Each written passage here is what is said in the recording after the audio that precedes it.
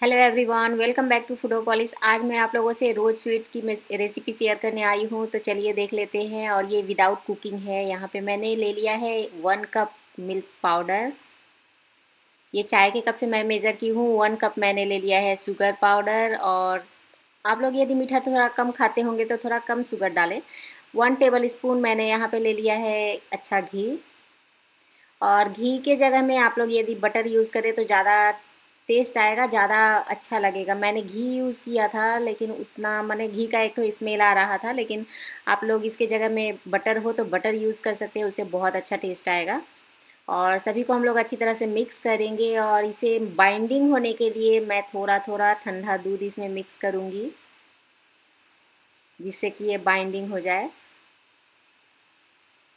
थोड़ा थोड़ा ही दूध मिक्स करना है, नहीं तो ये गीला हो जाने से फिर हम लोग मुश्किल में पड़ जाएँगे। तो डो बनाने के लिए हम लोगों को थोड़ा थोड़ा ही दूध मिक्स करना है मतलब वन टेबल स्पून करके।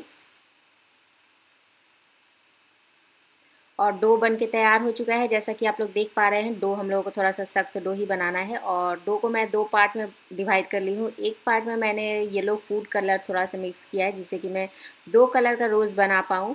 और इसे हम लोग इस तरीके से रोल कर लेंगे, जैसा कि आप लोग देख पा रहे हैं। और आपके पास यदि बटर पेपर हो तो बटर पेपर पर रोल करें तो ज़्यादा ईजी होगा। और इस तरीके से कोई भी एक कटर ले ले, जिससे कि छोटे कटर हो तो ज़्यादा बेटर है। मेरे पास यही कटर था, इसलिए मैंने यही यूज़ किया है। जैसा कि आप लोग देख पा रहे हैं, मैंने एक जो पूरी है, मैंने बेला है, उसे मैंने रोल कर लिया है। और जहाँ पे वो ख़त्म होता है उसके बीच में दूसरे वाले को रख करके इस तरह से रोल करें और फिर बन जाएगा आपका रोज़ मिठाई।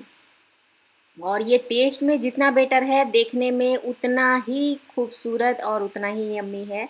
और वो मैंने काफ़ी बड़ा रोज़ बनाया था, ये मैं छोटा रोज़ दिखा रही हूँ। इसके लिए मैंने जो सर्कल बनाया था, उसे बीच से डिवाइड करके और इस तरीके से, जिस तरीके से मैं रोल कर रही हूँ, पहला वाला मैंने बनाया था, उसी तरीके से इसे भी हम लोग रोल कर लेंगे। और ये मैं छोटा रोज़ बना रही हूँ और ये बहुत यम्मी लगने वाला है और पाँच मिनट में बन जाने वाला है और इतना ईजी है कि बच्चा भी बना लेगा। मतलब इतना इजी ये स्वीट्स है। और डर का कोई बात नहीं है क्योंकि कुकिंग का कोई प्रोसेस नहीं है और आप लोगों को यदि मेरा चैनल पसंद आता है तो प्लीज़ इसे लाइक सब्सक्राइब एवं शेयर करें। आपकी एक लाइक या सब्सक्राइब से हम लोग काफ़ी मोटिवेट होते हैं इस तरह से रेसिपी शेयर करने के लिए। Thanks for watching stay safe stay healthy मिलते हैं अगले रेसिपी के साथ।